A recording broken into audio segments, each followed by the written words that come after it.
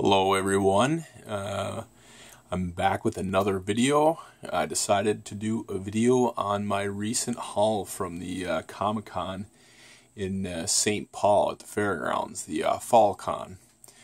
And uh, I picked up a lot of cool stuff. I got another couple things in the mail that are grails, so I just uh, figured I'd put together a simple, nice simple video of uh, all the recent pickups I got. And um, you know, I'll probably do a review on most of them. A couple of them I, I probably won't just because they're pretty simple sets, but uh, the first three you see ahead of you, in front of you, is Iron Fist box set uh, with Danny Rand and Thunder and Iron Fist and Colleen Wing. Uh, that was just a comic shop pickup. Uh, you can usually pre-order four packs from your comic shop and they give you 20% off, possibly 30% off. Some places will do that, but uh, that guy came in like a week later or whatever. Um, but uh, I'm sure I'll have a picture up quick. I kind of want to get Colleen Wing on in a picture, or else uh, you know maybe maybe Iron Fist uh, uh, training with the Thunder or something like that. And and I'll definitely review that one and talk about the TV show.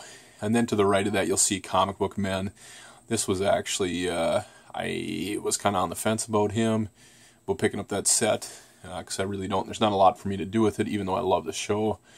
Uh, you know, what am I going to do with those picture-wise? But I may just cannibalize them and use them for, um, uh, you know, civilian fodder like normal. Um, but I do love the show, and I'll probably review that set too. Uh, and then on the left, you'll see the Space Jockey with Captain Dallas and the Alien Eggs, which this set I don't think comes with Alien Eggs. It's kind of weird to have that on there, but um, I do have a shot planned out for that, and I'll definitely review that later. But uh, here's the first three things I picked up.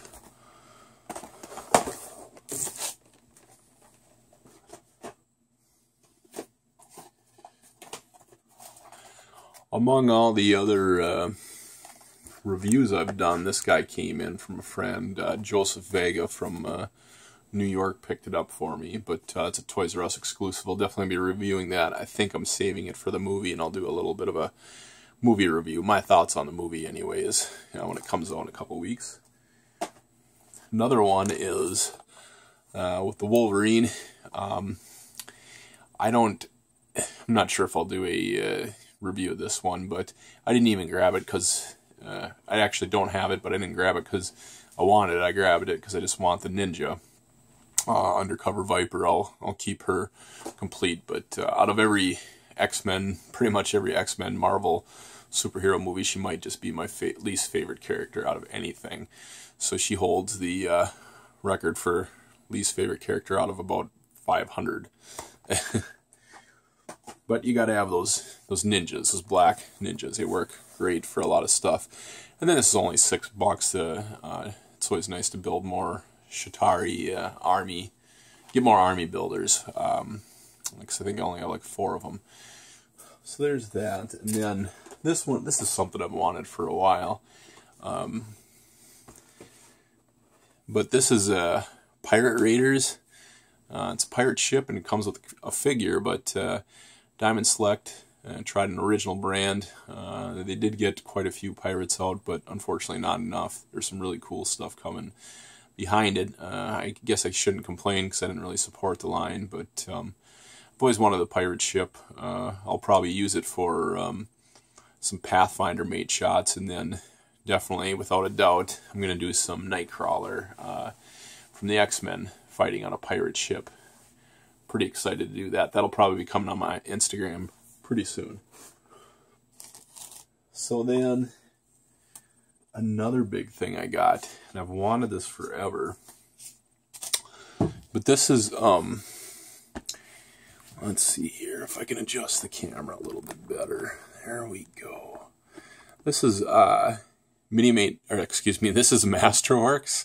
Uh, with my with my Instagram name, you could see why I would uh, screw that up. But uh, the Masterworks books uh, are a collection of like the original 1960s runs of Fantastic Four and X Men. I have all the X Men ones up to like 120 or something and I'm working my way through the Fantastic Four. I only have the first one, and this is uh, uh, volume three, or no, excuse me, this is volume 5, but uh, I was kind of on the fence about grabbing this. It was 40 bucks, but I really wanted the Coming of Galactus story. It's only three issues, so I wrestled with it for a while. Finally decided, all right, I'm going to buy it, and because uh, I wanted it anyways, and it was 20% off.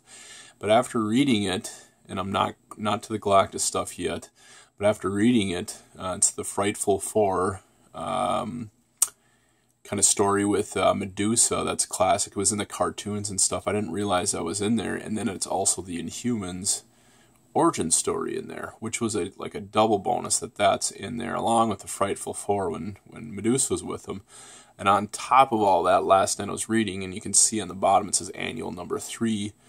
Um, that is the wedding of Sue Richards and Reed Richards, Sue Storm and Reed Richards. Uh, and that was kind of last night. I just uh, turned the page, and there it was. It was. I didn't even look look into it too much. So, if you ever buy a Fantastic Four Masterworks, this is the one to buy. You get Galactus, the Inhumans Origin, uh, their wedding, and then the Frightful Four, original Frightful Four story, worth every single penny. And the biggest reason I wanted to get it was this next thing. Oh, and by the way, that uh, Masterworks, that's where I get my namesake from. The Mar- uh, Mini-Mate Masterworks comes from those books as an honor to those books. But so here's the biggest thing I picked up. This is without a doubt one of my biggest uh, grails. And it is the Mini-Mates Max statues. These are extremely old. They're almost right away at the beginning when Mini-Mates came out.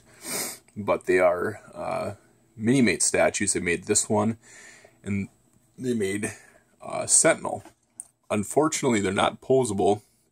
The pose you see him in now is a pose that he comes in, and I will most likely review this just for the heck of it because I'm so excited about it. Uh, but I finally have, this is my last expensive big grail, is this Galactus. And you'll be seeing coming up uh, some a good run of pictures on my Instagram of uh, the Galactus storyline. I'll, I'll put, definitely be putting my own twist on it. Um, it won't be exactly like the comics. It definitely won't be exactly like the cartoon was. But um, I'm going to try to get all of his heralds that uh, were created uh, in Mini-Mate form in it. I might use the Mini Galactus, or yeah, the Mini Galactus for a shot. Uh, they didn't make a normal size Galactus. Um, I'm just going to do a, a, review of him and set him up and stuff. And just kind of give you guys a, a, look at him as a figure itself. But uh, it's nice to finally have him in the collection. Like I said, he's my last Marvel one that, that I really uh, wanted and feel I need in my collection. Um, absolutely amazing. So happy to finally have him. So anyways, this is my... Uh, most recent Comic Con haul and a few other things I've picked up along the way. Uh, this actually came from a guy named Eric Dukowski. He's from Canada. He goes by Minimite on Instagram. Uh, he's a long-time Minimate collector. Uh, so it was very nice of him to, to help me out with this uh, much-wanted grail. So anyways, that's my video of my little most recent haul. And uh, We'll get some more review videos up soon of some other stuff, and definitely check out my Instagram for uh, more of my work on there. That's always almost almost always posting daily there, posting daily there. I'll post a link in the comments. And uh, anyways, make sure you hit that like, hit that subscribe, and thank you for viewing.